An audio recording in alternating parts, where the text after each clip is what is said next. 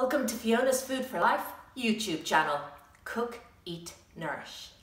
Today I'm heading back off to Ballymaloe in East Cork in a little village called Shanagarry to meet one of the co-founders of the cookery school, Rory O'Connell. I also worked under Rory as head chef in Ballymaloe House for a year after I did the cookery school, back 23 years ago. So I hope you listen to the end and listen to all the wonderful things Rory's talking about, the great books that he's written, running the cookery school, awards, etc. Please like and comment and don't forget to subscribe. Hi Rory, thanks for joining me. I'm delighted, delighted to chat. Great. Yeah. Would you mind introducing yourself to my audience? I will, absolutely. Hello, my name is Rory O'Connell. I'm I'm a chef, I suppose, really. And at the moment, I'm spending most of my time at the Ballymaloe Cookery School, and then I have various other bits and pieces that I do. But I cook for a living, that's me. Great. Would you mind telling me a little bit about your career to date? Yeah, well, I started cooking um, by accident, really. Um, I went to university to study law, and then, um, having not sort of done so well at that, or not being all that interested in that, I um, did mess around doing a few other things. Anyway, long and the short of it, I ended up in Ballymaloe, and at the end of this, that particular summer, when I'd been working on reception, I asked Mrs. Allen if I could go into the kitchen for a few months, just to learn how to cook specific dishes, rather than learning how to cook. But within a couple of weeks of um, starting, um, I knew that I wanted to cook. So I cooked at Ballymaloe for um, several years, and then that sort of segged into a restaurant we had in Paris called La Ferme Irlandaise, which was um, a restaurant we opened to showcase Irish, Irish produce in France. So I spent some time there. And then when I came back to um, Ireland, um, having been in Paris, and would be backwards and forwards, um, then um, at some point or other around then, Darina, um, or no, sorry, I'm forgetting myself. At, when I finished in Ballymaloe, my sort of first phase in Ballymaloe, I went to work in a restaurant in Cork called Arbutus Lodge, Oh, yes. which was really important. Uh, for all sorts of different reasons, it was just a fantastically good restaurant. Style of cooking was somewhat different to what we were doing at Ballymaloe. Uh, the kitchen was run on much more formal sort of French lines. And I had the good fortune when I was there to cook with really two fantastic chefs, um, Michel Flamme and uh, also Michael Clifford, the late Michael Clifford. Um, so that was a really fantastic experience. And at the end of my year there, um, that was when Darina suggested, said to me she was thinking of opening a cookery school, and she asked me would I like to be involved with her, and I said I would. So that was around the time the cookery school started. Then I was very involved in the school, but while I was working in the school, I would, I would go back to Ballymaloe on a f- to cook the main course on a Thursday and a Friday evening. So that was a really very busy period of my life. And also then, at that time, the school would close down during the summer. So I would go, for example, one summer I went and spent three months working at Chez Nico, which was a two-star, two Michelin star restaurant in London. Went on to get a third star, and then I cooked with Raymond Blanc. So it was all that sort of thing going on. And then, um, and then I, much, much later, I came back to Ballymaloe as head chef, where I spent 10 years. It was time where Mrs. Allen was running the Euro-Toques with the European uh, Union Organisation of Chefs. So, um, and Mrs. Allen gave, gave me a free hand in the kitchen, so I ran the kitchen for 10 years. I was one of your chefs for a year there. That's right. Yeah, yes, yes. stage. That was a great period. It was very busy. Uh, business was really good. I think we achieved terrific consistency and really lovely quality. I was very happy. But then uh, after about 10 years, I, I, I wanted time for myself, not to stop working, but to do other things. I'd always wanted to write a book, a cookery book, and I didn't have time to do that when I was running the kitchen in Ballymaloe because it was all en- engrossing. And the thing about a restaurant like Ballymaloe is because it's a hotel, that it's not just lunch and dinner, it's breakfast. It's the first cup of coffee until the last petit four. And possibly then it's thinking about a picnic, you know, that has to leave at six o'clock in the mornings, all that sort of thing. So it was a very wide and busy thing, but I love doing it. Um, so then, uh, anyway, I, um, I left Ballymaloe and I went travelling actually, which has nothing to do with my career, but in a way it was quite important because I sort of missed the stage when I might have gone travelling as a younger person. Yes, Yeah. okay. So anyway, I did all of that, and that was fun. And during that time, actually, I went and worked in Chez Panisse in Berkeley, California. Um, so that was quite a good thing to do. Um, and then, you know, eventually I got a book, and got a book deal, um, and I ca- came back to teaching at the school a little bit then. I'm much more involved now again.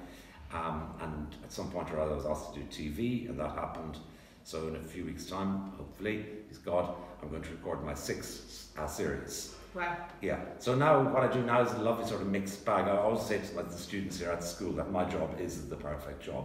For most of my cooking, I stand in one spot and everything is handed to me. And then when I make, then everything is taken away from me. It's kind Great. of, it's a joyful way to cook. But it allows me the time to be, you know, uh, you know, to think about. I'm doing another book as well at the moment. You know, to, you need time. At least I certainly need time to think about those things. Um, and my career at the moment allows me to do that. Okay. So a couple of things you probably brushed over there. Award-winning books, is that right? Yes, the first book, Master It, uh, which nearly broke me. Um, I was lucky enough to work with um, Fourth Estate and the publishers, and particularly with a woman called Louise Haines. She was the commissioning editor, and um, she um, is, is hugely respected. For example, she does all of Nigel Slater's books. He's one of her authors. So I was lucky to work with her. And then that book won the uh, Andre Simon Award, um, which was I was thrilled with a really prestigious uh, English Yeah. award. And then the second book, Cook Well, Eat Well, which was published in Dublin by Gill Books, uh, won the Irish Cookbook of the Year award that particular year. Fantastic. Well done. That's quite nice, I suppose. and brilliant. And did you win Chef of the Year twice as well? I won Chef of the Year. I won, yes, I did. Um, I can't remember when. It's not. It's when I was while I was working in Ballymaloe. I won uh, Chef of the Year, and also I won Chef outside of Dublin of the Year. Okay. Sounds kind of odd to say that. yeah. Great. Well done. Yeah. So one of the things that I'm talking to Darina about, and one of my things are to, to get people to cook from scratch. Yeah. Sure. What can we do, and I know it's one of the things you're passionate about as well, but what can we do to, to get it involved in the curriculum and, and to teach people how to cook? Well, you have to convince the people who make the laws that this is going to be worthwhile and is going to benefit everybody and that there may be a positive financial implication. That's one of the, that, that Yeah. from my understanding of the way politics works. The financial implication is easy to enough, I think, to work out. Actually, I mean, the social implications are so obvious. It's like the you know the nose on your head. Um, of people eating at home, the the community it can engender in the home in a way that there might not be in some homes nowadays. Um, it makes people think about their lives a little bit differently. You know, in terms of people are, are so busy nowadays. So if you, if people are going to decide to cook at home, um, and if that's going to be, say, part of a government policy, well, then people have got to be allowed, given a little bit of time to do the cooking at home. Mm, it just doesn't happen just Yeah. like that, you know. So, um, uh, so uh, there's, there's the social aspect, but the financial aspect is that over a period of time, it should improve the health of the nation. Mm. If it improves the health of the nation, it brings down health food costs, health costs.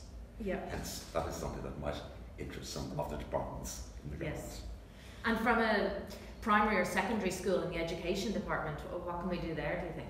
Well, I mean, uh, you, you meet, uh, we regularly meet fantastic uh, domestic science teachers who would love, many of them, if there was proper cooking facilities in schools again. I mean, if, uh, parents will need to demand it, otherwise it Okay. isn't going to happen. It's as simple as that. Parents will need to demand it, and for parents to demand it, they need to see the benefits for their children and for their and for their families. And I think the benefits of cooking at home, you know, any sort of food movement, as far as we can see, the most, the, first step in terms of really good health and all the rest of it is knowing how to cook yourself. Mm-hmm. Because until you know how to cook yourself, you cannot curate, curate your own diet properly. Yeah. You're relying on other people to make those decisions for you. And if you can cook yourself, it means you can then you, you take that vested interest in the shopping for the ingredients and, as I say, sort of curating it. So that's just crucial, just absolutely crucial. Okay. Well, hopefully in the next few years we'll see it becoming, Yes. yeah, a, a bit more Yeah. mainstream. Yes, Uh, Rory, one of the things I loved, and I think you were heavily involved in it, was Litfest. that's right. a great time. Is it Yes. coming back? Uh, it's not coming back, I'm afraid. Yeah, Litfest was great. Litfest was Darina's idea, and then I ran it, basically. She's got the ideas in the address book, and then I've got a certain amount of organisational skills. Yeah, no, it was a really fantastic event. Um, I'm very proud of what we achieved over the period of time that we did it. Um, And maybe, sorry, for some of my audience might know exactly what it is. Yes. Do you want to it's, describe? yes, yes, it started off as um, a food and drinks um, literary festival, specifically about authors. So in the first two years, you had to be somebody who wrote and who had been published on the subject of food and drink. Okay. And that could have been non-alcoholic drink as well as alcoholic drink. And then I decided, because it was quite interesting, because as the festival evolved, it became a bit more political, a bit more topical, rather than talking about beautiful books. We started to talk about obviously what was in the beautiful books, but also, you know, you can't look at or talk about food and drinks nowadays and not talk about the environment and not talk about the politics and not talk about the economics. So we loosened it from a festival dedicated to food and to, to a literary festival dedicated to food and drink to becoming a festival dedicated to food and drinks literacy. And food and drinks literacy was about people knowing about what was in the food they were eating and the drinks they were drinking. So, um, and we had unbelievable um, names and people here. We were so Mm. honoured, you know. Uh, René Redzepi, Claudia Roden, um, Yotam Ottolenghi, uh, Alice Waters, you know, it just went on and on. Every year after year, it was fantastic. Um, and it was great, and I think it was really worth, really worthwhile. Some fantastic conversations were had, and I think, I, I think things happened as a result of it. Um, but then after five years, we decided just to take a little break and a breather, uh, and um, and we're still breathing. I'm breaking. Who I knows? loved it. I had such a great weekend. It, Yeah, was, it yeah. was so good. Yeah, Yes. no, it was really. I, I must say, uh, it's not, I don't blow my own trumpet, but um, I think of its type, it was a fantastic event. Yeah. Really, yeah. Uh, and uh, we felt it was very inclusive. Um, a, a lot of the events you had to pay for a ticket, but there were so many free events uh, of, uh, you know, of really unbelievable quality. So, you know, something I am proud of, I must say. Yeah, oh, it was brilliant. If you ever think of bringing it back, let me know. I'll be Thank there. You be on the committee. Um, so Rory, one of the things that I understand you did when the Web Summit first started up in Dublin, you were looking after, you were in charge of the food for all of the delegates. Was That, that's right. I was. Um, Massive It, project. it, it was absolutely huge project. Well, it, it, it started off as being massive, then it just became this sort of behemoth. But anyway, um, I was asked by Margaret Jeffares of Good Food Ireland, who had been tasked by um, Paddy Cosgrave, um, you know, to look after, to do the food. Uh, that was the lunches um, for the delegates on the day of the event and some dinners in the evening. So I, I, I was asked to do that. I think the first year was maybe 5,000 people, but then it became 15,000 people a day and stuff, and it was like unbelievable. So again, I, I, mean, I think it was successful, uh, you know, and it was amazing actually because it brought together all of the members of this organisation called Good Food Ireland. So producers, restaurateurs, chefs, cafe owners, everybody brought them all together in kind of an extraordinary way, and they were unbelievable, really unbelievable. And to put the, you know to put the best foot forward for Ireland. It's really great. And how long did it take you to? So it ran over a few days. It ran over the first year. I think it was two days. What's the second year? Three days. I, I blurred some of it out actually. Yeah, I blurred some of it out. But uh, there was a lot of organisation involved. I mean, you know, months, and then obviously closer to time, it became a sort of a full time thing. Yeah. But basically, it was about making lists, and and then and then sub lists and sub sub lists, and crossing things off, and and being willing to change a plan if somebody dropped out or whatever. But it's basically any kind of organisation. In the way I do it is about lists. Yeah. And were you just totally exhausted afterwards? I was absolutely shattered, somewhat elated, but completely shattered. And I think collectively, in terms of the, the years I was involved in Web, Web Summit, I think it's taken a year off my life with that debt. Yeah, it was phenomenal. Yeah. Because I remember the biggest event I ever had to manage was um, a Citibank Christmas party in Australia for 2,000 people. Yeah, and I think I yeah. slept for three days afterwards. Yeah, I was yeah, just exhausted. yeah. It's, it I is. can't imagine. It is, yeah. I mean, it's a really great team, you know, and um, and then at some point, you you know, I, I, was, I couldn't, I wasn't going to be able to get every one of the fifteen thousand people to make sure they got precisely what they wanted, and and you know, uh, and, and you can only get to meet as many people and and and, glean the knowledge that they have had a good time from that small amount of people you meet. But overall, the feeling was, I think, very, very positive. Well done. Yeah, Well done. you. Yeah. So what's what's next for Rory O'Connor? So uh, another TV series this year, hopefully, which is great, and I hope this year um, that we're going to do uh, the series. I want to focus on vegetables, which sounds like a knee-jerk reaction. It's not. We've always eaten and, as you know, grown vegetables here and, and love them. But I want to focus each program on a particular vegetable because I want to go Okay. and meet the producers, which everybody has done.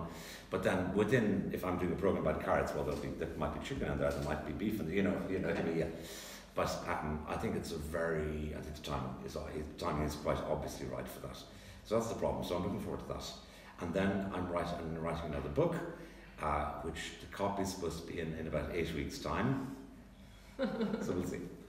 Anna, you tell, like, tell us what the book is about or anything? Um, the book, you know, it's just again, it's sort of general um, recipes that you know the sort of food that I like to cook, which um, I mean, I because I don't differentiate really between um, what I eat at home on my own or just having white supper at home do and then if I was having people for dinner, I don't see any difference. I mean, if people, some even come one evening and, and, and I've really, today's eggs from here, well, we might have boiled eggs, and I think that's just good enough actually when they're superb.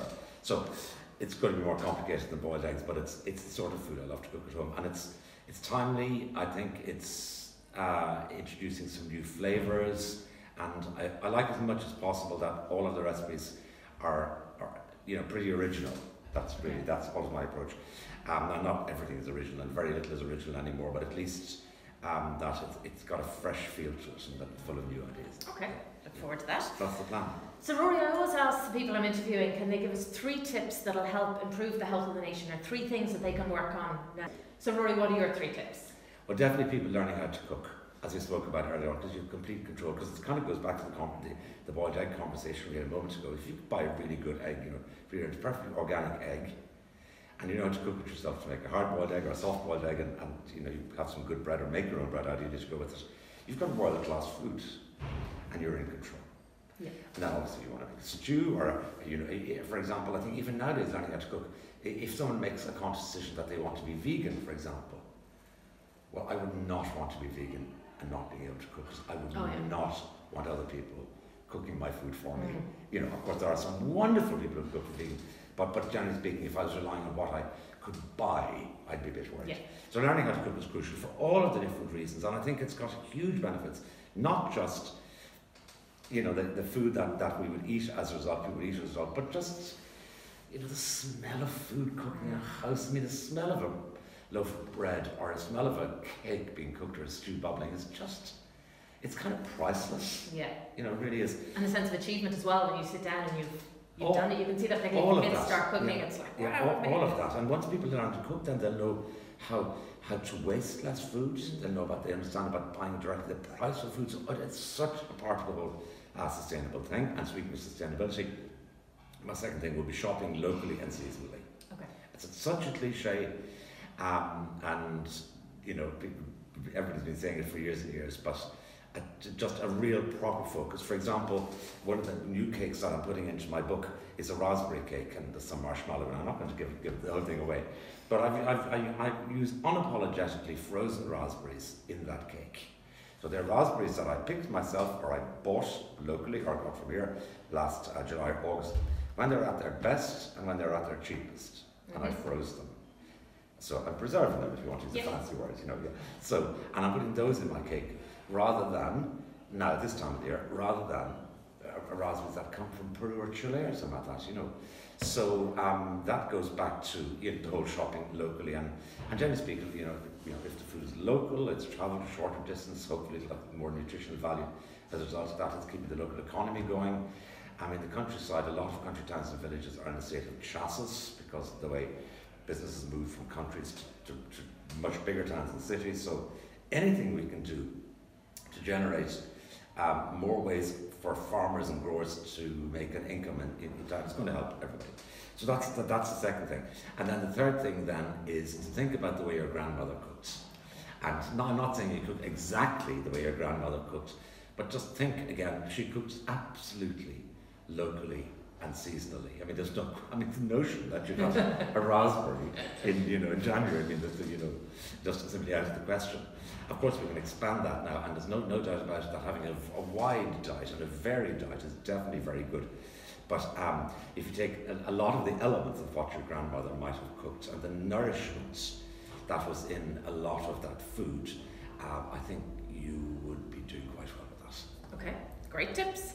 And going back briefly to your local and seasonal, yeah. in your current book, the Cook Well, Eat yes, Well, yeah. um, I love the way that you have that laid out. So you yes, have yeah. that laid out per season. Oh, very much so. And then it's also per entertaining, or as you say, almost what you would do yourself anyway. Oh, yeah, exactly, yeah. In, in different menus Yes, and things. yes. So, so the, the four seasons, and then with each season there's six or is it six balanced meals? Yeah. Exactly, yeah. And that's the thing. Uh, but for anybody who's thinking about writing a cookbook, I tell you, it's a difficult way to lay out a cookbook because it becomes like a game of sort of chess in a way. Uh, you know, because, uh, but anyway, it, it, it makes it more difficult than just having a list of starters, Okay. main Ah, courses. Yeah, Okay. yeah. Oh, that's Yeah. interesting. But I think for, for the user, if someone's saying, okay, well, what is in season in Ireland Yes, at a certain time? Oh, yeah, Well, in your book, it, Yeah. it lays it all Yes, out, yeah. out really well. Yeah, of course, the whole thing now about about writing books uh, about seasonality. I mean, the seasons are without changing, without that changing. And some of the ingredients are coming in earlier and stuff like that. So just if you think I got it wrong, maybe it's good. Brilliant. Okay. Um, Rory, one of the questions I love to ask is what would you choose as your last meal? Definitely. Yeah, such a difficult uh, question in many ways because particularly when you're asking me in a place like this here at Valley Cook School where there's this incredible farm and this just marvellous, magical food doesn't arrive into our lap but is created here both by the farmers and the gardeners outside and also local producers who, who we deal with and have dealt with for many years. Um, so um, um, so that's it makes the question quite difficult because sometimes actually a boiled egg can seem to me like the most extraordinary thing. But we'll splash out a little bit if you give the point because I'm going to say wild Irish salmon, Lovely. uh, which of course is so scarce. When I started cooking, um, you remember when you were cooking with me in Mm. Ballymaloe House, Yeah. you know, the the salmon, you know, which is there was so there was so much of it there. Now it's very rare, so we get a little a few salmon from the Blackwater every year, and I poached that and served with hollandaise made from our own eggs and our own butter, and then I would have some ideally asparagus with that. Beautiful. That would be heaven and a delicious bottle of wine. That's what I was going to ask. Wine. Okay, red or white? Yes, or white with that. White. But then I'd have a glass of red afterwards. I love red wine. Would you ask me what are you going to do? Are you going to have dessert or cheese or anything after that? Um, am I going to have dessert? But at that time of the year, um, I might, there might, the gooseberries might be in. So if, if, which I think they could be just depending on the year.